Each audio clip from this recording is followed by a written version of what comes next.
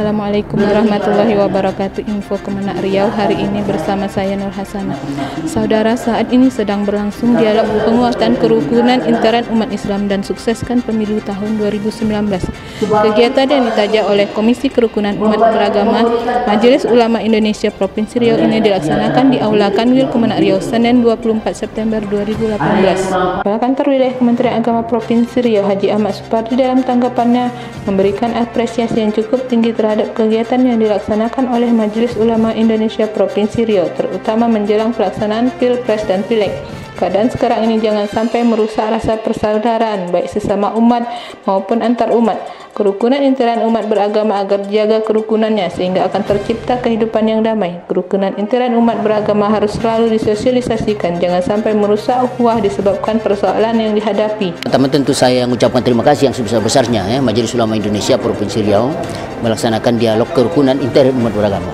Saya kira momentum saat ini sangat tepat ini, apalagi kita mau pilpres, mau menghadapi pileg, tentu suara yang diperebutkan secara umum itu adalah suara umat Islam, karena mayoritas penduduk Indonesia ini 85% itu adalah beragama Islam, dan yang di luar itu hanya sekitar 15%. Itu berarti penentu suara itu adalah suara umat Islam.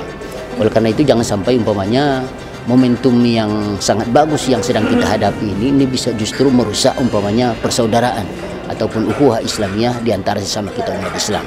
Soal politik biarlah dia berjalan, tetapi ukhuwah, ukhuwah Islamiyah, ukhuwah watoniyah, ukhuwah insaniyah ini harus tetap kita kedepankan. Itu yang pertama.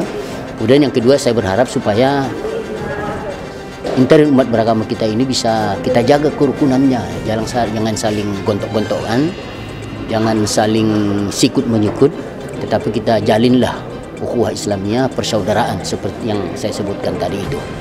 Dan yang terakhir tentu saya berharap supaya karena yang hadir ini adalah para tokoh-tokoh agama Islam dari semua kalangan, ada dari Majel MDI ya, ada dari Al-Wasliyah tadi, ada dari macam-macam lah ya, dari semua organisasi-organisasi yang ada di kalangan intern umat beragama Islam ya saya berharap supaya kerukunan intern ini bisa selalu disuarakan, disosialisasikan dan disampaikan. Jangan sampai ke terus rusak ukhuwah Islamiyah kita gara-gara persoalan yang sedang kita hadapi saat ini. Sementara itu, Ketua MUI Provinsi Riau Haji Muhammad Nazir Karim dalam tanggapannya mengenai apa yang harus dilakukan pemuka agama dalam menghadapi pemilu 2019 mengatakan Kegiatan pemilu adalah kegiatan rutin yang dilaksanakan oleh negara kepada pemilih agar memilih tokoh-tokoh yang kafabel untuk mendapatkan pemimpin yang baik. Melihat hal tersebut, MUI Provinsi Riau melakukan kegiatan secara harmonis dan tidak ada salah satu yang mengganjal dalam persatuan. Sebab hal tersebut merupakan tonggak dari Pancasila, yakni persatuan Indonesia yang harus dijaga.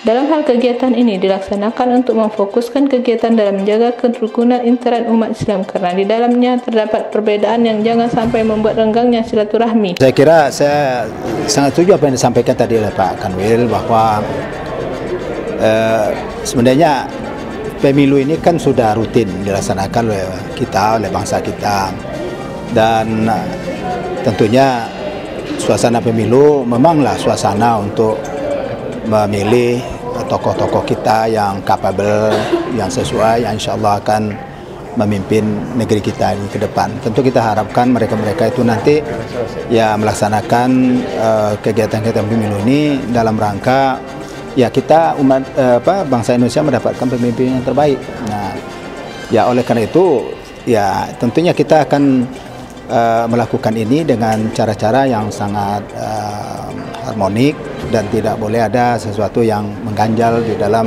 persatuan kita. Ya, karena itu merupakan apa tonggak dari Pancasila kan persatuan Indonesia itu harus dijaga. Jadi oleh karena itu dalam konteks uh, kajian kita hari ini kita memang uh, lebih fokus kepada bagaimana kita menjaga kerukunan intern umat agama Islam sendiri. Ya, karena tidak bisa dipungkiri bahwa di antara kita juga terjadi mungkin perbedaan-perbedaan pandangan, ya pendapat dan sebagainya dan bahkan sikap juga. Ya maka oleh karena itu uh, jangan sampai perbedaan-perbedaan ini uh, membuat kita ya uh, tidak lagi menjalin apa apa yang diinginkan oleh agama kita silaturahim ya silaturahim boleh berbeda pendapat boleh berbeda pilihan tetapi silaturahim kita tetap terjaga dengan dengan baik dan tidak boleh merenggangkan silaturahim itu. Nah, yaitu itulah yang kita harapkan di sini ya. Tidak ada masalah. Insya Allah pemilu kita akan bisa berjalan baik, baik pileknya maupun pilpresnya ke depan. Sedangkan Haji Edward S. Umar mengatakan kegiatan ini diikuti oleh organisasi Islam dan organisasi dakwah dengan peserta berjumlah 30 orang. Dalam kegiatan ini MUI Provinsi Riau mendatangkan narasumber dari berbagai pihak di antaranya Kakanwil Kemenak Riau, Ketua dan Sekretaris MUI Provinsi Riau. Peserta dari kegiatan uh, dialog ini adalah dari ormas ormas Islam, kemudian juga dari organisasi dakwah. Uh, jumlah pesertanya 30 orang dengan narasumber yang pertama adalah Bapak Profesor Dr. Haji Muhammad Nazir Karim, Ketua Umum MUI Provinsi Riau. Yang kedua Bapak Profesor Dr. Haji Ilyas Susti. Yang ketiga Bapak Kepala Kantor Wilayah Kementerian Agama Provinsi Riau, Bapak Kandidat Dr. Haji Ahmad Supati Hasibuan. Dan yang keempat adalah Bapak Haji Zulhusni Domo, Sekretaris MUI Provinsi Riau. Harapan kita dengan pertemuan ini, ini adalah sebuah misi untuk mempersiapkan suasana batin umat beragama, inter umat beragama Islam khususnya, agar siap dengan kondisi-kondisi perbedaan pilihan nantinya waktu pemilu 2019 dan ini juga akan memperjelas beberapa konsep yang selama ini bersimpang siur tentang penggunaan sound system, kemudian tentang Islam Nusantara, eh, dan berbagai hal nanti yang akan kita terima dari para narasumber untuk penyelesaian dimaksud. Demikian info Kemenak Riau hari ini. Saya mewakili kerabat kerja yang bertugas mengucapkan terima kasih. Wassalamualaikum warahmatullahi wabarakatuh.